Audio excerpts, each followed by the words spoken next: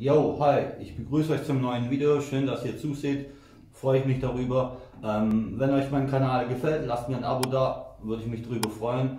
Und heute zeige ich euch mal den TKS-Tisch. Ähm, verlinke ich euch mal hier oben links im Video und zeige euch mal, wie, ich den, wie der fertig aussieht.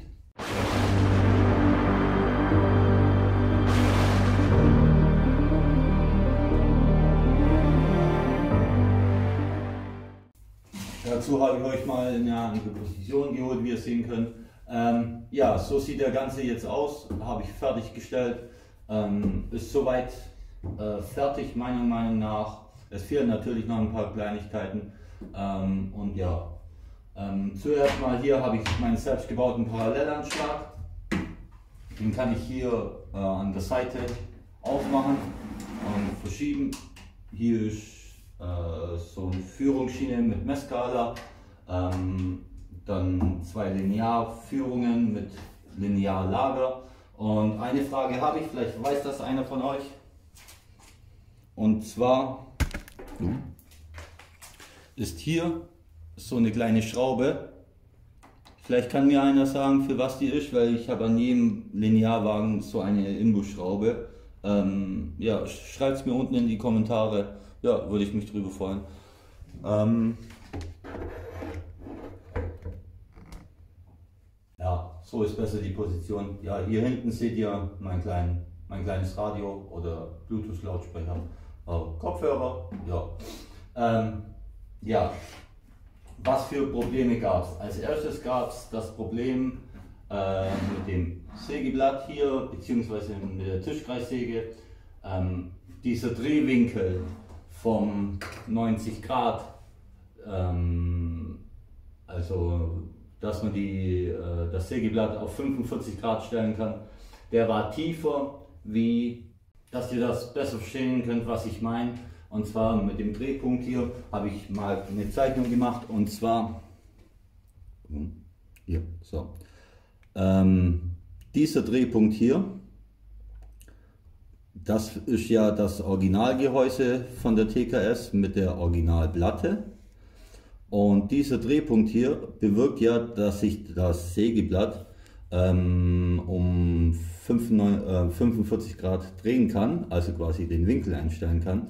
Und der war ja jetzt tiefer wie, wie, wie als wo ich diese neue Platte oben drauf gelegt habe. Somit musste ich unterhalb der Platte eine Aussparung fräsen, dass ich mit diesem Drehpunkt nach, weiter nach oben komme, beziehungsweise dass die Platte weiter nach unten kommt.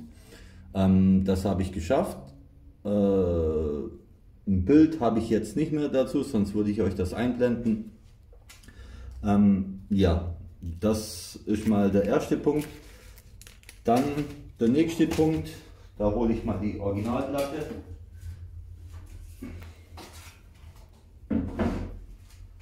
Das ist die Originalplatte und wie ihr sehen könnt, ist hier so ein Halbmond quasi. Ja, einen fest installierten und einen flexiblen. Da war, waren hier so Plastikklammern drauf, ja, wo dann hier die Tischkreise oder halt das, die das Gehäuse von der Tischkreissäge drin sitzt. Ja, das müsste ich einmal übertragen auf die neue Platte und ich habe mir ja äh, wie soll ich sagen, ja, provisorisch noch ein, so einen Halter, so einen flexiblen Halter angefertigt aus einem Stückchen Metall, dass auch die Stabilität gewährleistet ist und das auch nicht hin und her rutscht. Das war das andere Problem. Ja, und das funktioniert jetzt auch. Zeige ich euch mal also hier ist Sägeblatt und hier kann ich das nach oben bewegen, wie ihr sehen könnt, und nach unten bewegen. Das Schwenken funktioniert auch, allerdings das passt noch nicht zu 100%, weil die Platte wirklich dick ist. Das sind 22 mm. Ähm, muss ich mir noch eine andere Einlage einfertigen, dass, das auch, äh, dass ich auch im 45 Grad Winkel sägen kann. Ich mache mal die Feststellschraube lose und das, wie ihr sehen könnt, kann ich das Sägeblatt einwandfrei bewegen und auch auf 90 Grad wieder einstellen. Ja, das war das eine Problem. Ja, ähm, das andere Problem, oder gab es überhaupt noch ein Problem? Ähm,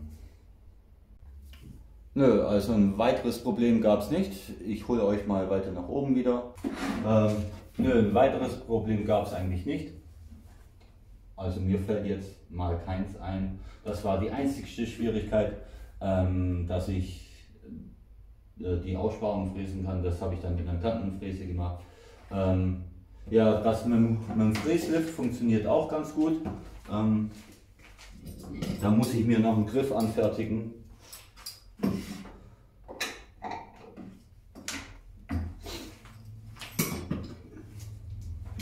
Das funktioniert auch gut. Ja, wie ihr sehen könnt, Fräse kommt nach oben und Fräse geht nach unten. Das funktioniert auch gut. Also ich muss sagen, ich bin ziemlich zufrieden mit dem Bau hier. Ja, war ein großes Projekt für mich, ähm, auch sehr anspruchsvoll für meine Kenntnisse. Na klar, ihr Profi-Tischler hätte das in, im Nu gebaut, natürlich, denke ich mal. Ja, aber für so einen Hobbyheimwerker, wie ich jetzt bin, ähm, ist das schon ein großes Projekt. Und wenn es euch gefällt, ich lasse mal oben die Playlist da. Und wenn es euch gefällt, wie gesagt, würde ich mich über ein Abo freuen und ein Like da lassen. Ja, wäre cool.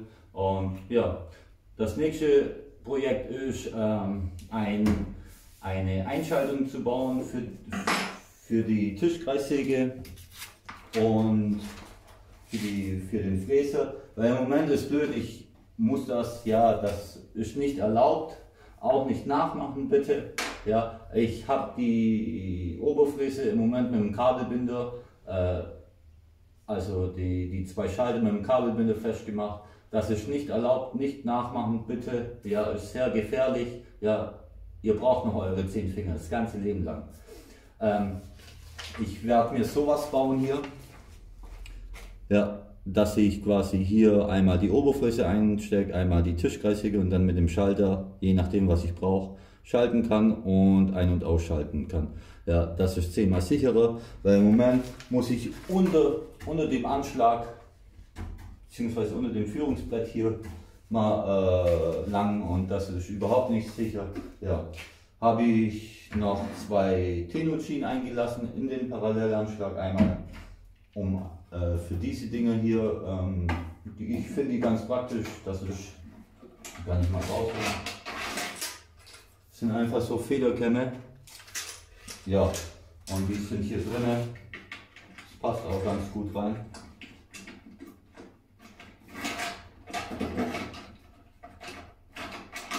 So.